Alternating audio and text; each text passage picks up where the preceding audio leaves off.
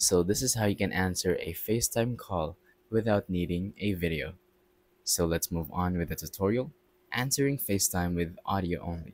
First, update your iPhone or iPad. Older versions of FaceTime didn't allow you to answer video calls without video. If you're using iOS 15 or later, then you can turn off your camera before you answer a FaceTime call.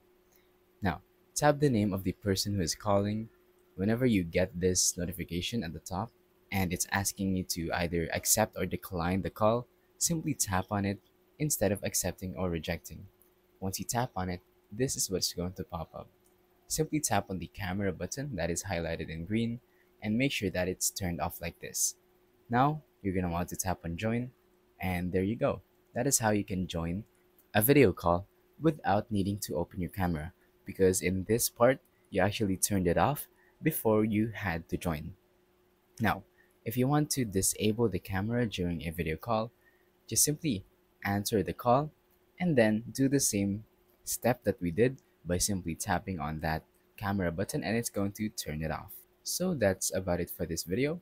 Once again, all you have to do is just simply tap on their name and tap on the camera and then tap on join to simply open a call without having to open your camera. Thank you for watching.